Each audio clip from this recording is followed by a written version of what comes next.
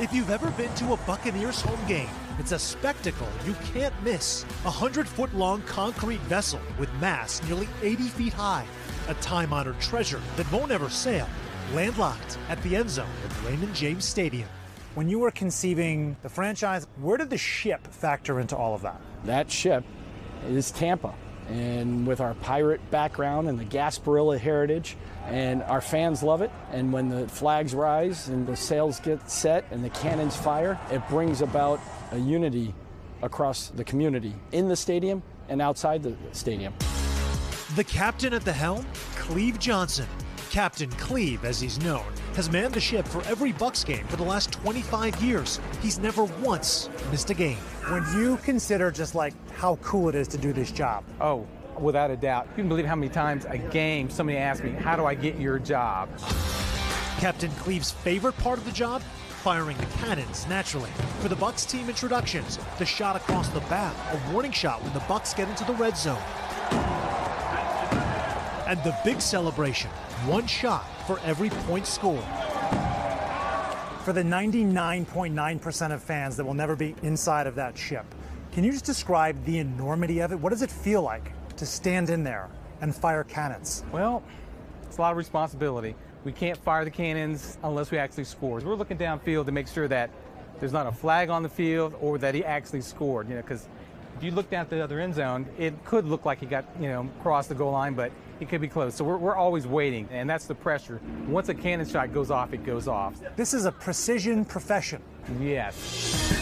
Four different cannons shoot smoke that comes from liquid CO2 being shot out. Two concussion cannons, the ones that make a boom, run on propane and oxygen, ignited by a spark plug. Usually, the materials last half a season, but since Tom Brady joined the Bucs, Brady throwing end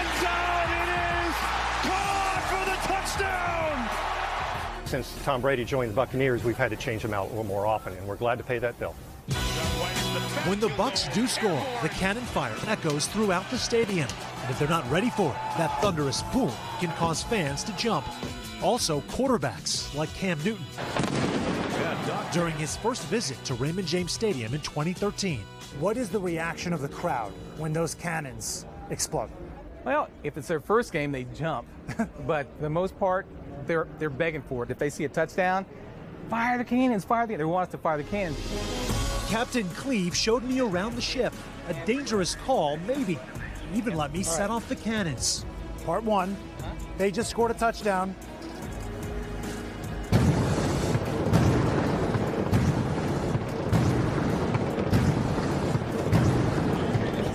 After 20 plus years of firing those cannons, how's your hearing doing? What? Oh, sorry. Exactly. Just, just kidding. Well, I know it's coming. So the ear that I have towards the cannon, I usually hold my ear. But yeah, it, if you're up there, it will rock your world if you're not ready for it. Now, you may be wondering does Captain Cleve just wake up and put on his pirate's outfit every single day and go to work? No, he actually does have a day job, guys. He is a Special Ops Command government civilian during the day. That's Monday through Friday.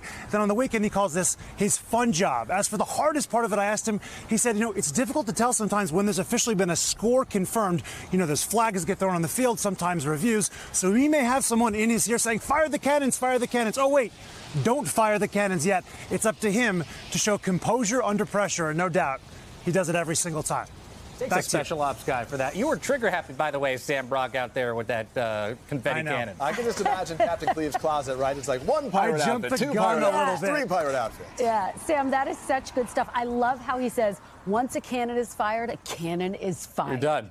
That's a big, big job he's That was got. a lot of fun. By the way, don't forget to catch the next Sunday night football game. The Steelers take on the Baltimore Ravens. That is Sunday, New Year's Day at 7 Eastern on NBC and, of course, on Peacock. Yeah, don't miss that. Hey, thanks for watching. Don't miss the Today Show every weekday at 11 a.m. Eastern, 8 Pacific on our streaming channel, Today All Day. To watch, head to today.com slash all day or click the link right here.